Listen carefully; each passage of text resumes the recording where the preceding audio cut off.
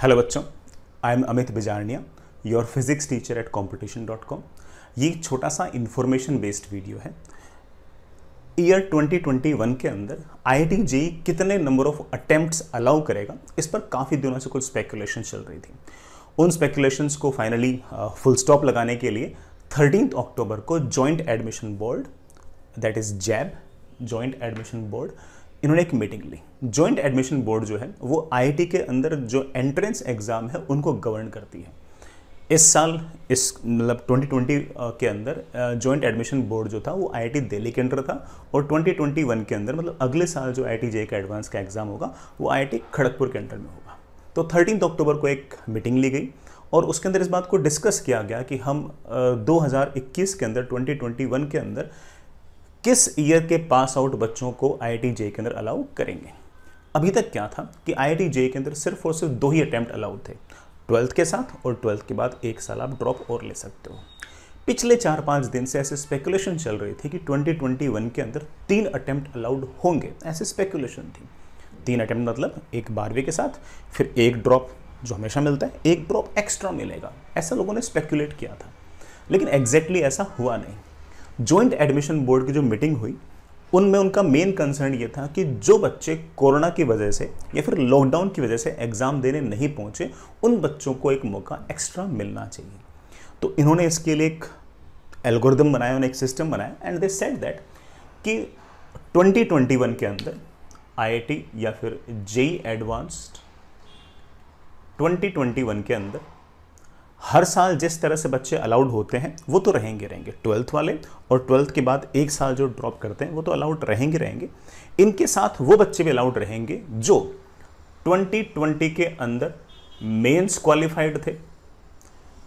Mains qualify करने के बाद उन्होंने आई जेई एडवांस का फॉर्म फिल किया था मतलब रजिस्ट्रेशन किया था, लेकिन किसी तरह से एग्ज़ाम देने नहीं पहुँचे। किसी कारण से भी एग्ज़ाम देने नहीं पहुँचे एग्ज़ाम के अंदर वो एबसेंट रहे। वो बच्चे भी आई आई जेई एडवांस 2021 दे सकते हैं, बिना मेंस का एग्ज़ाम दिए, बिना वापस से क्वालिफाई किए। Let me repeat my statement once again I I JEE advance 2021 के अंदर, अगले साल मतलब आई आई जेई एडवांस में जिस तरह से हर साल बच्चे स्क्रीन होते हैं जेई मेन के एग्ज़ाम के थ्रू वो तो होंगे ही होंगे। जिसमें ट्वेल्थ के बच्चे भी होंगे और थर्टींथ के बच्चे भी होंगे। उनके साथ साथ वो बच्चे भी बैठ पाएँगे जिन बच्चों ने ईयर 2020 के अंदर मेंस का एग्ज़ाम क्वालिफाई किया, पहली बात। क्वालिफाई किया, उसके बाद एडवांस का फॉर्म फुल किया, फिल किया, रजिस्ट्रेशन कंप्लीट किया, लेकिन उसके बाद एग्ज़ाम देने नहीं पहुँचे। जिन बच्चों ने एग्ज़ाम दे दिया, जैसे भी नंबर आए, वो बच्चे ईयर 2021 के अंदर एग्ज़ाम में बैठने के लिए एलिजिबल नहीं है। किन बच्चों की बात कर रहा हूँ? जो रिपीटर वाले बच्चे। जो रिपीटर वाले बच्चे। तो ईयर 2021 के अंदर कौन कौन बच्चे बैठ सकते हैं? ऑफ़ कोर्स जो 2021 के अंदर ट्वेल्थ का क्लास का एग्ज़ाम देंगे, वो बैठ सकते हैं। जिन्होंने 2020 के अंदर ट्वेल्थ क्लास का एग्ज़ाम दिया है, वो भी ऑफ़ कोर्स बैठ सकते हैं। मेंस का एग्ज़ाम होगा, फिर स्क्रीनिंग होगी, फिर बैठ सकते हैं। साथ ही साथ 2019 के अंदर जिन लोगों ने ट्वेल्थ क्लास का एग्ज़ाम दिया एग्ज़ाम के बाद उन्होंने मेंस को क्वालिफाई किया। क्वालिफाई करने के बाद आईआईटी जेई एडवांस का फॉर्म भरा और फॉर्म भरने के बाद वो एग्ज़ाम के अंदर एबसेंट हुए।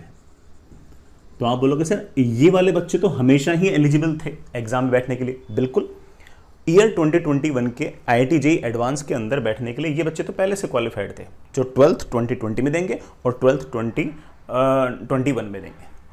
लेकिन उसके साथ 2019 वालों में से 2019 में जिन्होंने ट्वेल्थ का एग्ज़ाम दिया है, वो बच्चे वही बैठ पाएँगे जिन्होंने मेंस का एग्ज़ाम क्वालिफाई किया आई का फॉर्म भराओ और एग्ज़ाम में एबसेंट हो, किसी भी कारण से। ज़रूरी नहीं कि आपको कोरोना हो, कोविड हो, कोई आपको डॉक्यूमेंट्स देने हो, ऐसा बिल्कुल नहीं है। आप किसी भी कारण से एबसेंट हो, इवन आपकी तैयारी नहीं थी, इस कारण से अगर आप एबसेंट थे, तब भी आप एग्ज़ाम दे सकते हो। बशर्ते कि आप आपने एग्ज़ाम ना दिया। अगर आप एग्ज़ाम में बैठ गए तो आपके नंबर कितने भी आए, आप अगले साल अगला ड्रॉप नहीं ले सकते। अगर आपका 2020 के अंदर ड्रॉप था तो अगला ड्रॉप है, आप नेक्स्ट ड्रॉप नहीं ले सकते। तो सेकंड ड्रॉप सिर्फ़ और सिर्फ़ उनके लिए अलाउड है, जिन बच्चों ने आई आई मेन्स का एग्ज़ाम क्वालिफाई किया। आई आई एडवांस का फॉर्म भरा, लेकिन फॉर्म भरने के बावजूद एग्ज़ाम देने नहीं पहुँचे किसी भी कारण से। बाकी तो 2021 के अंदर ट्वेल्थ वाले बच्चे ऑफ़ कोर्स एलिजिबल हैं। जो ड्रॉपर हैं, वो बच्चे ऑफ़ कोर्स एलिजिबल हैं। फ़र्स्ट टाइम ड्रॉपर तो ऑफ़ कोर्स एलिजिबल है। बात किसकी चल रही है? सेकंड टाइम ड्रॉपर की। तो सारे के सारे सेकंड टाइम ड्रॉपर्स जो हैं, वो अलाउड नहीं होंगे। सिर्फ़ वही अलाउ होंगे जो ये तीनों के तीनों क्राइटेरियाज को फुलफिल करते हैं। मेन का एग्ज़ाम क्वालिफाई किया हो एडवांस का एग्ज़ाम का फॉर्म भरा हो, लेकिन एडवांस का एग्ज़ाम देने ना पहुँचे। I hope you get the point अब इसमें कुछ बच्चों को, खास तौर से जो 2020 में और 2021 के अंदर जो बारहवीं क्लास पास कर रहे हैं या करेंगे, उन लोगों को एक हल्का सा कन्फ्यूज़न है कि सर, क्या इससे कंपटीशन नहीं बढ़ जाएगा? जो बच्चे ट्वेंटी नाइनटीन के अंदर पास आउट हो चुके हैं, सर वो भी एग्ज़ाम देंगे, सर उससे क्या कोई कंपटीशन नहीं बढ़ जाएगा? तो पहली बात तो ये कि ना आईआईटी ने इस बात को बहुत क्लियर कहा है कि जो मेन के अंदर जिन बच्चों को स्क्रीन करते थे, छांटते थे कि इतने बच्चे एडवांस का एग्ज़ाम दे पाएँगे वो संख्या जो होगी, वो जितनी हर साल होती है, उतनी की उतनी इन बच्चों के लिए रहेगी। ये बच्चे एक्स्ट्रा बैठेंगे। जैसे मान लीजिए कि ये टेन थाउज़ेंड बच्चे हैं तो इन टेन थाउज़ेंड बच्चों के लिए एक्स्ट्रा आपको सीट्स दे दी जाएँगी। ये जो बच्चे हैं, ये अगर मान लो कि पहले भी ढाई लाख थे तो अब भी ढाई लाख बच्चे ही वापस से आई एडवांस का एग्ज़ाम दे पाएँगे। ये एक्स्ट्रा बच्चे रहेंगे। और मुझे ऐसा लगता नहीं कि कोई बहुत ज़्यादा संख्या के अंदर ऐसे बच्चे होंगे। जिनका एग्ज़ाम इस तरह से छूटा हो। फिर भी पूरी इतनी बड़ी इंडिया है, हो सकता है कि 20-25 बच्चे ऐसे हों जो पढ़ने में बहुत अच्छे हों, अच्छी तैयारी कर रखी हो और उसके बावजूद एग्ज़ाम देने ना आ सके हों। और हो सकता है कि उनको कोरोना भी हो, घर में किसी को कोरोना हो हो सकता है कि लॉकडाउन की सिचुएशन ऐसी हो हो सकता है कि मानसिक स्थिति में भी कोई इस तरह का बदलाव आया हो तो हो सकता है कि कुछ बच्चों ने एग्ज़ाम इस कारण से ना दे पाए हो। तो उन बच्चों के लिए तो ऑफकोर्स एक बहुत बड़ा वरदान है।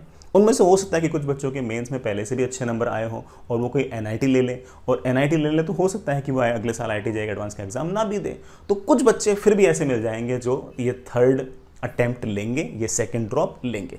लेकिन इनकी संख्या मेरे ख्याल से बहुत ज़्यादा ऐसी नहीं होगी कि वो कंपटीशन को बहुत ज़्यादा टफ कर दें। तो मेरे ख्याल से कंपटीशन पर बहुत बड़ा इतना अंतर नहीं पड़ेगा। थोड़ा बहुत तो फ़र्क ऑफ़ कोर्स पढ़ता ही और पढ़ना भी चाहिए। जिन बच्चों का एग्ज़ाम किसी कारण से अगर मान लीजिए नहीं हो पाया तो उन्हें तो दूसरा अगर मौका मिलता है अगर अगर फेयर मौका मिलता है तो ये गलत बात तो नहीं है। तो अगर किसी, कोई बच्चा अगर ऐसा है, पूरी इंडिया में कोई बच्चा अगर ऐसा है कि जिसका कोरोना की वजह से अगर मान लीजिए कि अटैम्प्ट खराब हुआ हो तो उसे तो ये फेयर मौका मिलना चाहिए भी था और आई ने दिया भी है। तो I hope you get the point ये छोटा सा कन्फ्यूज़न कई बच्चों को था। तो मैं फिर से बोलता हूँ, हर बच्चा एलिजिबल नहीं है। सेकेंड ड्रॉप के लिए थर्ड अटैम्प्ट के लिए सिर्फ़ वही बच्चे एलिजिबल हैं जिन्होंने मेंस क्वालिफाई किया हो एडवांस का फॉर्म भरा हो और उसके बाद किसी तरह से वो एग्ज़ाम किसी कारण से भी वो एग्ज़ाम देने ना पहुंचो आईआईटी एडवांस का। सिर्फ़ वही बच्चे 2021 के अंदर एलिजिबल हैं, बिना कोई मेंस का एग्ज़ाम दिए, बिना कोई मेंस का एग्ज़ाम दिए। मेंस का एग्ज़ाम वापस से देने की उनको कोई ज़रूरत नहीं है। तो होंगे कुछ बच्चे ऐसे हैं जो एन में जाएँगे तो उसके बावजूद वहाँ से एग्ज़ाम को राइट करेंगे। और हो सकता है कि उनमें से कुछ बच्चों की रैंक अच्छी भी आ जाए। वी नेवर नो ऐसी ही हाँ बेटा कोई और इन्फॉर्मेशन अगर आपको चाहिए तो आप हमें बता सकते हो। ये हमारी वेबसाइट है। आप हमारा ऐप डाउनलोड कर सकते हो कंपटीशन के नाम से गूगल प्ले स्टोर से। कोई भी क्वेरीज वगैरह हो, ये फ़ोन नंबर है, ये हमारा ईमेल आईडी है support at the rate competition dot com आप ऐप ज़रूर डाउनलोड करें, आपकी आई जे की जितनी प्रिपरेशन वगैरह हैं, उनमें हेल्प के लिए बहुत काम आएगा आपके। That is our app competition नाम से गूगल प्ले स्टोर मिल जाएगा। All the best